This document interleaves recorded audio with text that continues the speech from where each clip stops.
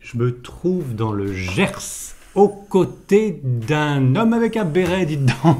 Oui, oui. Bon, merci de m'accueillir chez vous. C'est très joli, Oui. à l'intérieur comme à l'extérieur. Je ne parle pas du bonhomme, mais je, je- je- je parle de la maison et puis euh, euh, du travail que vous faites euh, à l'extérieur dans le jardin. C'est Voilà. plus qu'un jardin, c'est une prairie. Euh, on m'a juste dit, s'il y a quelqu'un qu'il faut venir voir du côté de Mirande, c'est cet homme-là. Alors, vous vous appelez Christian Oui. Jansac. C'est un sac, exactement. Ça s'écrit comment votre nom de famille? G-E-N-S-A-C. Oui, d'accord. Mais bon, euh, chez moi, euh, dans, tout, tout- dans tout le coin, euh, on m'appelle pas Chri- Christian, on m'appelle Attila. Attila? Oui, parce que c'est un nom qu'on m'a toujours donné. euh, C'était un rapport au rugby où je jouais. Ah, d'accord. Voilà. Bon, il faut pas que je vous énerve de trop parce que je me suis... Non. sinon je vais me faire plaquer. Voilà.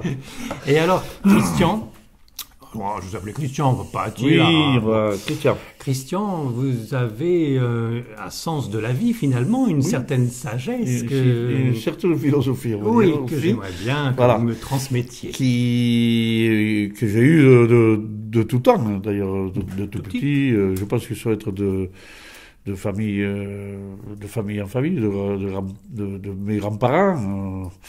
vous savez j'ai fait une, une fois une recherche euh, sur ma famille et je me suis aperçu que mon grand-père mes deux grands-pères Ouais. ça c'est le hasard que mes deux grands-pères étaient nés dans le même village Dans le coin déjà? Oui dans le Gers à On Montfort bouge pas beaucoup dans la famille. non mais ce sont deux familles différentes quand même oui. qui habitent euh, dans le Gers, mais comment savoir que mes deux grands-pères étaient nés dans ce même village? C'est original. C'est extraordinaire. Et c'est quoi alors votre spécialité étrange et Après, mystérieuse? moi, après, moi, j'étais, mon, mon premier métier était paysagiste. Oui. Ah bah c'est pour ça que c'est si beau à l'extérieur. Voilà. Ah bah je viens de comprendre, parce que les arbustes sont bien taillés, tout ça. Oui. Et j'ai découvert aussi que mon grand-père était paysagiste, alors que je ne le savais pas du tout. Ah oui. Ah c'est marrant Et ça. tout. Ah oui. Euh, vous aviez vos parents qui vous ont éduqué sans vous parler de votre grand-père. Oui, j'ai mes parents qui m'ont éduqué, qui m'ont appris à la vie, euh, la vie euh, normale, hein, la, Oui. la bonne vie. Euh, bon, j'avais un- un- une mère euh, et un père qui étaient des bons vivants, Oui. Bah des hein. bons- des gascons. Oui. Donc très très abordable. euh, D'accord. Vous avez une religion, Voilà. une religion particulière euh, comme éducation Pas spécialement aussi. Bon, j'étais enfant de cœur. Oui, comme, comme Voilà. pratiquement tout le monde. Très bien. Et- Mais bon, après, j'ai pas spécialement toujours été euh, dans la chrétienté parce que bon, moi j'ai lu beaucoup, j'ai j'ai appris beaucoup. euh, Tout seul. dans, tout seul. avec le contact des seul. autres. Donc vous êtes un autodidacte, si je comprends bien. Oui, mais j'ai beaucoup de. Je suis très curieux aussi. Donc j'ai essayé de connaître pour quelles raisons il y a ceci, pour quelles raisons il y a cela. Donc j'ai lu beaucoup de livres euh, très intéressants. Oui, du style. Toujours dans des livres un peu dans le mystère euh, ou dans, dans le. le mystère. oui. Du style Maurice Mességuet, du style. euh, Pas spécialement de Maurice Mességuier. Après, c'est un peu de tout, mais c'est toujours un peu dans le mystère et dans le dans le l'érotisme aussi, l'érotisme. Comment vous appelez ça le L'occultisme Oui, l'occultisme un peu. Mhm. Tout ce qui. Oui, oui, bref, Voilà. la, la, la, la, la science occulte, Voilà, euh, le, paranormal, le paranormal, l'ésotérisme, voilà. Je cherchais le nom. L'ésotérisme. Et ça tombe bien. Alors donc vous avez lu de vous-même, vous avez eu quelques rencontres de personnes un petit peu spéciales aussi. Et vous faites quoi? Quelle est votre spécialité étrange et mystérieuse alors? Qu'on le sache dès, Ah, dès maintenant. bon, ben, je suis Eh oui. guérisseur aussi, guérisseur. Rebouteux. Rebuteux, guérisseur. Ah, oui, guérisseur. Bon, disons que euh, je suis euh, rien observant une personne, je suis capable de savoir à quel endroit elle a mal. Exactement. Ça, rien qu'avec le regard. Ah oui. Après, j'ai la faculté aussi de, de savoir que de, que si je rentre euh, dans un bar ou dans un restaurant, je vais mettre, euh, allez, on va mettre 15-20 minutes, mais je le fais, je le fais involontairement, c'est involontaire, c'est comme ça. euh, j'ai- étudié toutes les personnes, je, les co- je connais leur caractère. Et leur caractère. Oui. Rien je, qu'à les je voir. suis capable de savoir si les personnes sont bonnes ou mauvaises, ou si ce qu'elles ont fait, ce qu'elles n'ont pas fait, Si elles sont sont positives, ou pas. positives, voilà. Ah oui. Et ça, dans les 15 minutes qui sont arrivées, il peut y avoir 30 personnes, et et c'est comme si je connaissais, c'est comme je les connaissais toutes. Vous les scannez toutes. Ah oui, comme, une- comme Et- une et- caméra. euh, euh, euh, coucou. Et ça, c'est- moi, et moi, alors vous me l'avez scanné déjà là Vous voyez Mais si- après, je, je suis capable de, des fois de, de, de mettre une petite barrière parce que bon, des fois c'est compliqué parce que bon, des fois je ne me rends pas compte. Eh oui. Alors des fois ma femme me dit arrête de, regarder, couper. de regarder les gens. Ouais. Et là, si vous me regardez, vous allez savoir où est-ce que j'ai des problèmes de santé et pas loin. si je suis une bonne personne ou une mauvaise. Je suis capable. Oui, oui, oui, bien n'hésitez sûr. pas, n'hésitez pas. je- En fait, je Oui. ne vais pas vous, dé- vous décrire. Mais Si. en fait, je suis capable de savoir, oui, si euh, dans, la- dans le contexte, bon, ça, je vais, je vais vous dire que vous faites la radio, je vais pas vous dire, mais je sais que vous êtes dans, un- dans un contexte qui est toujours euh, un jo- euh, joyeux, on va dire, Oui. toujours dans le, dans le contexte, bon, je pense que vous animation, êtes, euh, oui. animation, mais je pense que vous êtes toujours dans une vie aussi qui est un peu, Un euh, peu speed. Assez difficile dans la, Ah, oui, oui, comment parce, dire, Parce que je suis un Parisien. Voilà. très speed, on va dire. Bah oui, bah oui, oui. Très speed. Donc, euh, tu on- c'était toi, Mais on bah, on va te gêner, bien sûr, avec plaisir. donc je pense que tu n'as pas encore, euh, tu, tu recherches la, la, on va dire la tranquillité, mais tu l'as pas, tu, tu l'auras que plus tard. Je recherche quoi? La tranquillité, le, La le- tranquillité, le- oui. le- Oui. Être positif. ou Bêtement, je m'imagine la tranquillité, voire la sagesse avec Voilà. la retraite. Alors qu'il Exactement. faudrait l'aider maintenant. Alors que tu pourrais, oui, ça, et ça, ça, ça, ça se travaille Ben oui. dans le travail. Parce oui. que moi, quand j'ai travaillé, j'ai jamais été trop speed. Bon, ça arrive, mais j'ai toujours une, une pensée philosophique et que j'ai toujours, je dis toujours, il y a toujours une solution à un problème. Même si le problème est très important et très, Grave, oui. très âpre, il y a toujours une solution. Il suffit toujours de, de, de réfléchir et mettre le temps s'il faut. Bon, des fois, c'est pas évident parce que quand il y a le problème, il est là, mais il faut la trouver, la solution. Et la solution, existe. Toujours. Voilà. Bon, c'est optimiste. ça. Ça, c'est une, une Philosophie une- à- à ah oui, ça, c'est, c'est, c'est primordial dans la vie. Si tu trouves pas la solution, tu, tu, t'es- tu restes toujours dans le négatif. Eh oui, il faut pas se laisser abattre. Exactement, exactement. Mais la, la solution, elle y est toujours. Sauf qu'il faut la trouver. Eh oui. Et c'est là où il faut aller revenir dans le, dans le positif, et chercher cette solution. Et ça demande quelque chose d'important aussi dans la tête. Mais il faut la trouver. Mhm. Donc c'est de la psychologie que tu m'expliques là. C'est la psychologie Parce que le rebouteux, je le voyais euh, remettre des nerfs euh, si on avait mal au dos ou à un euh, genou. hein. Voilà. Mais rebouteux, c'est pas que. euh, C'est accompagner la personne qui est déjà c'est un peu trop malade. Et des fois, on, on est rebouteux, mais on peut pas toujours dire. euh, On passe on tombe sur des gens qui sont malades, qui, qui sont pas bien non plus. En fait, euh, moi, j'interviens que si on me le demande, en fait. Oui, Si on me sûr. le demande pas, c'est pas moi qui vais aller vers Non. euh, la personne. En Ça fait, va jusqu'à quel style de maladie tout. Tout Ouais. Mais Bon, tu, tu soignes pas complètement. Non, mais j'accompagne. Accompagnes, oui. Tu soulages.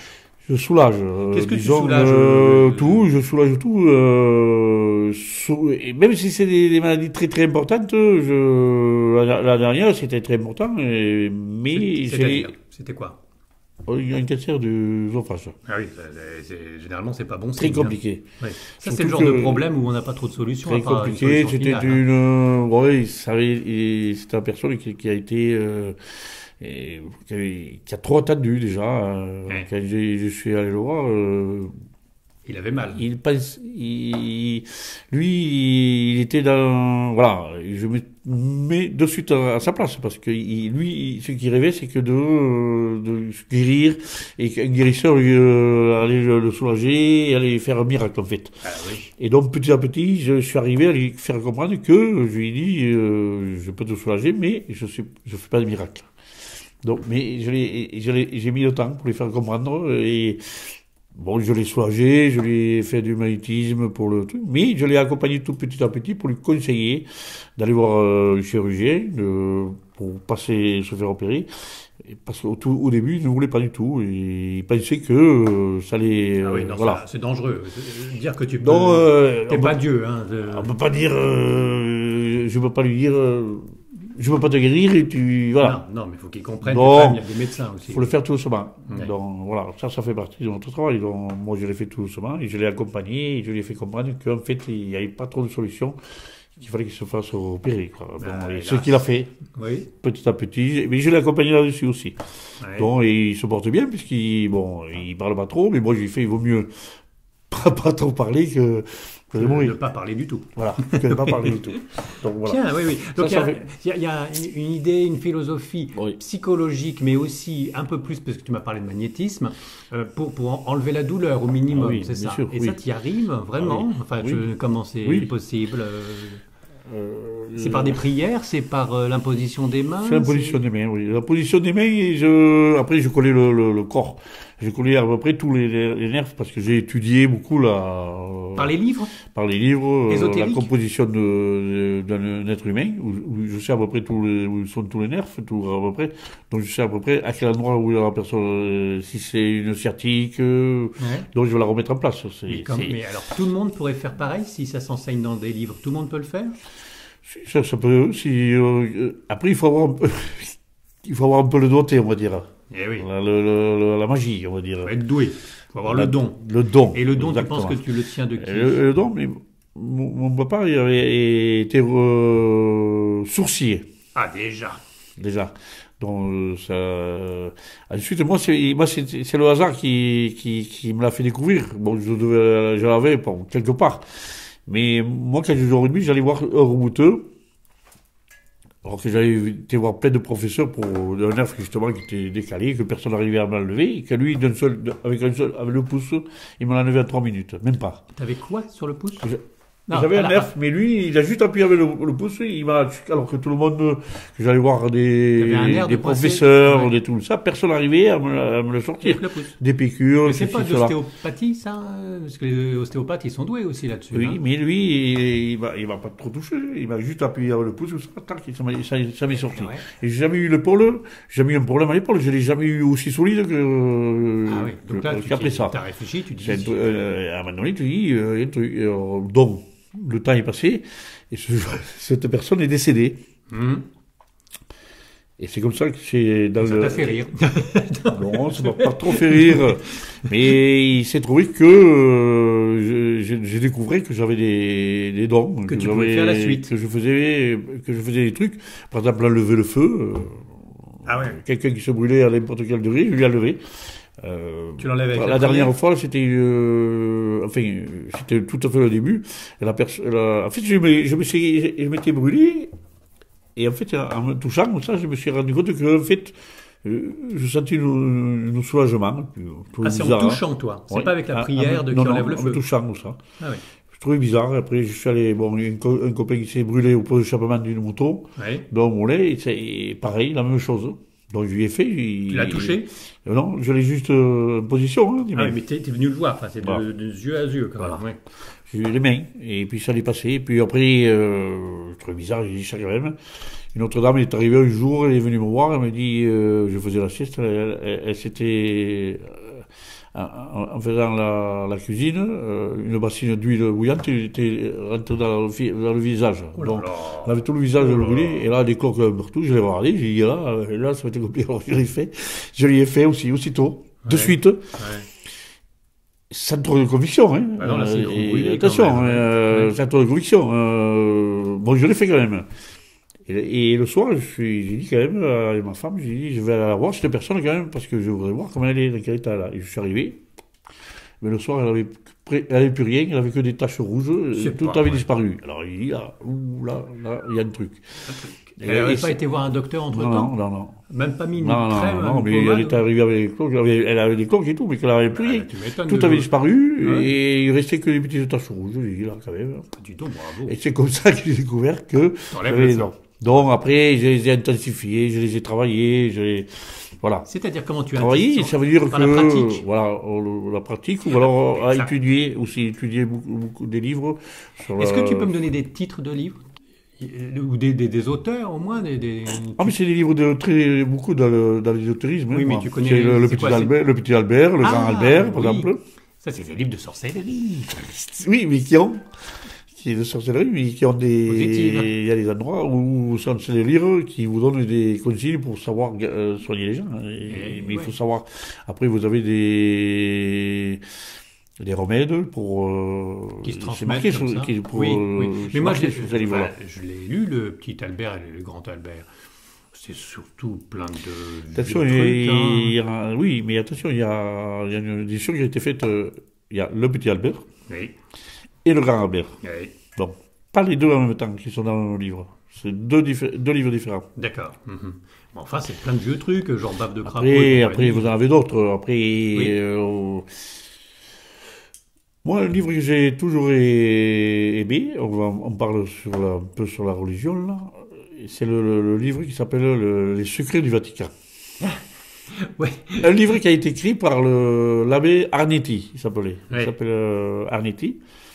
C'est un, un moine qui est en Italie, qui vivait dans un truc, et qui, lui, avait fait des recherches, qui était un scientifique. Il y avait d'autres euh, personnes scientifiques, a créé, avec un téléviseur et des antennes, a créé euh, un gros morceau, on va- dire, être, il avait récupéré les ondes que vous avez dans l'air. Parce qu'en fait, en fait, ce que vous avez dans, dans, notre, dans notre système, Oui. Là par où exemple, ce que oui. nous faisons Oui. aujourd'hui, ce soir, Oui.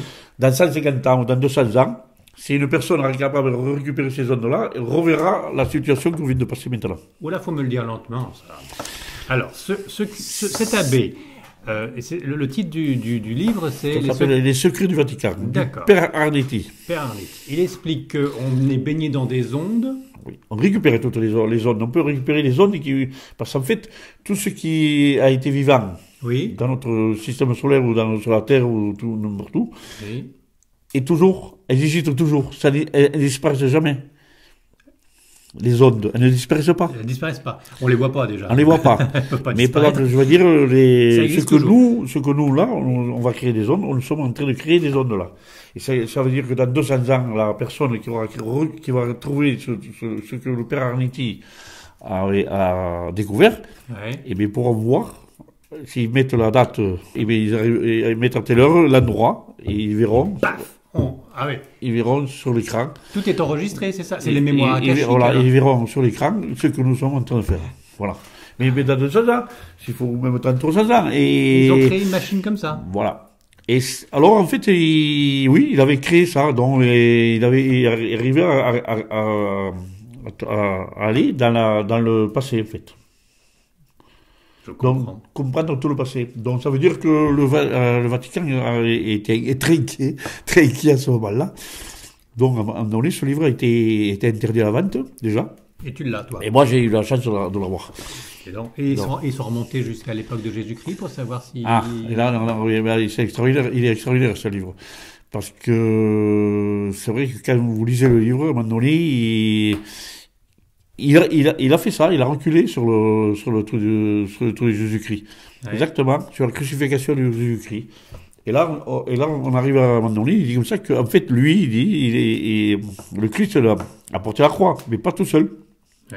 Parce que si on réfléchit, une personne, même que le Christ soit euh, une, une personne très, très costaud, très forte, Oui, oui, oui. Elle ne pouvait pas, absolument pas porter la, la croix, qui, qui pesait, euh, je sais pas combien, de, de, Mhm. tonnes, peut-être, une tonne, parce que tout en chaîne. D'accord. L'image de le voir avec la grande croix en Ah, train de ah, traîner tout le le long, truc. là. Oui, non. Je D'accord. pense que, je sais pas si, si quelqu'un sur la Terre arriverait à la, à la traîner, à la porter, je parle à la porter, pendant des kilomètres. D'accord. Sauf si c'était en Balzac, comme dans le cinéma. déjà, elle, elle était à deux fois. Donc, il emportait sans doute juste, euh, soit celle qui était en travers, soit celle qui était en long, Oui, et d'autres personnes portaient le reste, possible, bien sûr. automatiquement. Donc ça, ça a été marqué, c'était là, euh, dans le truc. Oui, Donc lui, il raconte un peu, il raconte un peu tout, mais bon... Non, euh, non, non, mais c'est intéressant. Bon, là, on peut- sans avoir la machine, on peut par pure logique déduire ça aussi. Mais est-ce qu'il a été jusqu'à la crucifixion ou est-ce qu'il a été encore plus loin jusqu'à la résurrection du Christ? Est-ce qu'il l'a ça Est-ce qu'il dans le livre Est-ce que dans cette machine? non, justement, il n'en parle pas trop de ça, Bah, parce qu'il pas- elle a ne veut pas- aller euh, dans, le, dans le contexte... euh, bon, il- c'était un, un monde incuré, donc il ne peut pas aller... euh, sinon, ça, ça, on a- et comme il disait, comme il disait, il disait que si on allait plus loin, ça allait, il allait avoir un gros problème dans la religion. Ah, ça- Donc, ah, on allait ah, découvrir des choses, des que choses dans la religion qu'on nous qui- aurait menti, c'est qu'on ça nous aurait menti quelque part. Ah, ça Voilà. sent le soufre, a dû se dire le curé. Ah, C'est-à-dire, faut pas que je sache la vérité parce que euh, on, on nous ment. Pour C'est cette, ça oui, c'est Sous- pour, cette, euh, pour raison que le Vatican a, Sous- confisqué le... Sous-entendu, le Christ n'est pas mort sur la croix, ou sous-entendu, le Christ est mort sur la croix, mais n'a jamais ressuscité.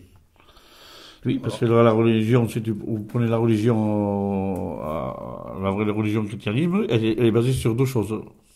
crucifixion Eh et résurrection. Eh oui, heureusement. Si on enlève ces deux, ça, euh, Ça tient le christianisme n'existe plus. Oui. Moi, de, de moi-même, tu peux être crucifié, tu peux être crucifié. Euh, Je me suis toujours posé la question, tu as des trous dans une main et tu as des trous dans les pieds.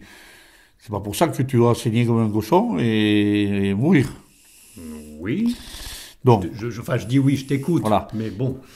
il y a beaucoup de personnes qui ont eu beaucoup de, de qui ont été beaucoup esquintées dans la vie, que ce soit dans, dans les guerres, tout ça, mais c'est pas pour cette raison que les, les personnes sont mortes. Il y en a qui sont, sont sortis.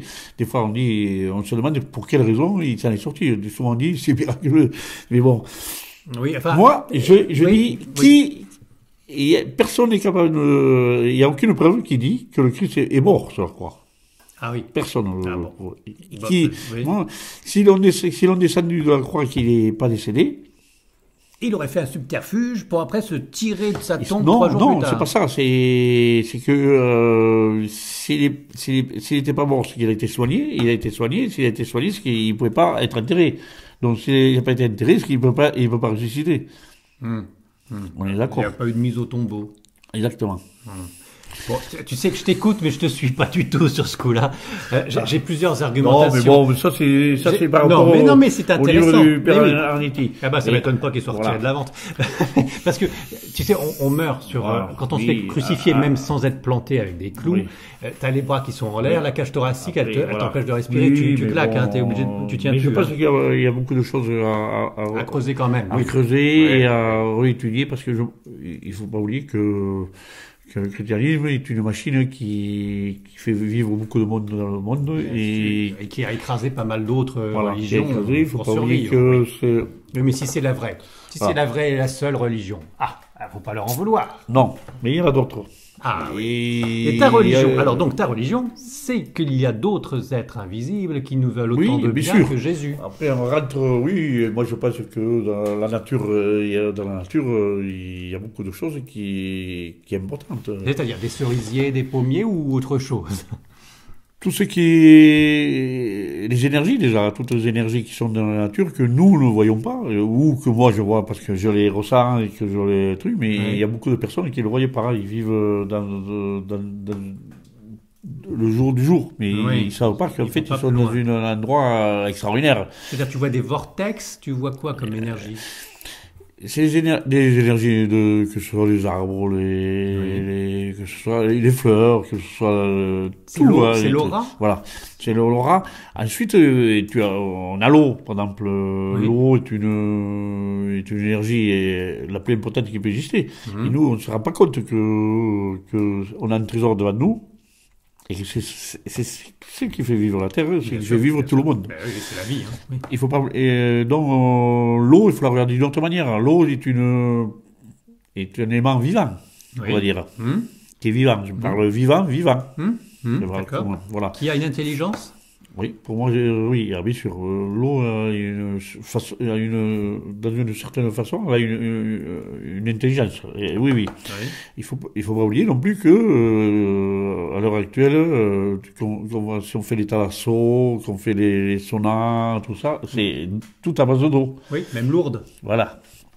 Tout à base d'eau. Mais c'est pour guérir les gens, on les, on les arrose avec de l'eau, avec la puissance, parce que l'eau, l'eau, elle a la vertu de la puissance. Elle est détru- destructrice aussi, elle, elle détruit, Oui. parce qu'elle est très puissante, ça peut, comme les inondations, tout ça, mais attention, elle fait du bien, l'eau. Bien sûr. Quand euh, on est fatigué, on va prendre un bain, euh, c'est l'eau qui nous, qui nous apaise, c'est l'eau qui nous repose. Euh, on a C'est besoin- un élément. On a besoin d'avoir. Et c'est plus qu'un élément.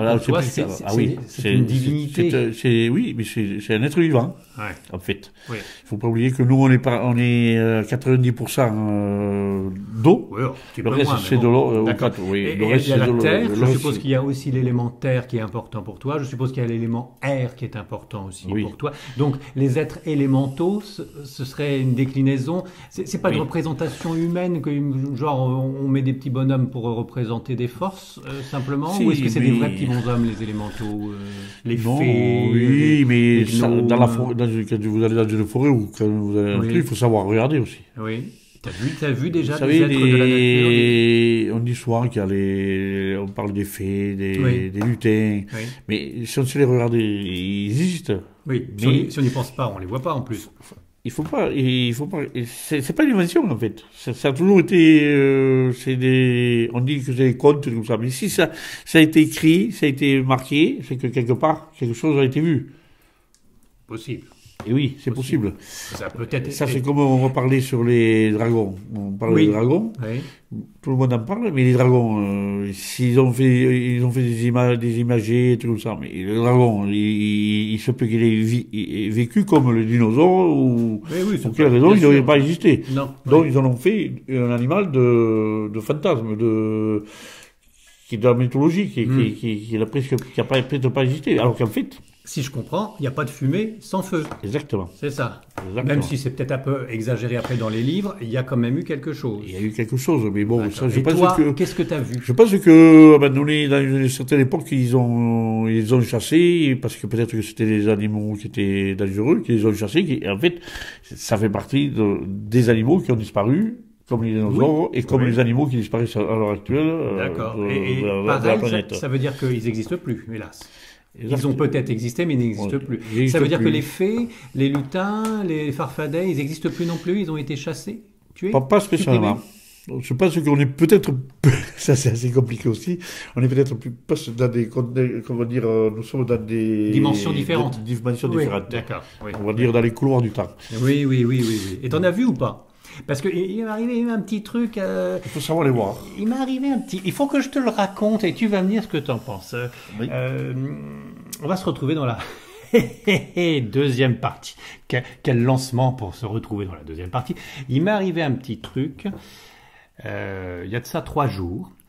Euh, J'ai fait une autre interview avec Daniel Aran, qui parle aussi euh, des êtres élémentaux et qui associe ça d'ailleurs à- au crop circle et aux ovnis en disant que c'est peut-être de chez eux que ça vient aussi. Et en ayant terminé l'entretien tard le soir, comme ce que nous sommes en train de faire tous les Oui. deux, sur la route, il m'est arrivé quelque chose d'étonnant. Je l'ai écrit dans la page d'élévation concernant euh, Daniel Aran, mais je, je vais te le redire et, et j'aimerais bien savoir euh, ton point de vue. Rendez-vous à la deuxième partie.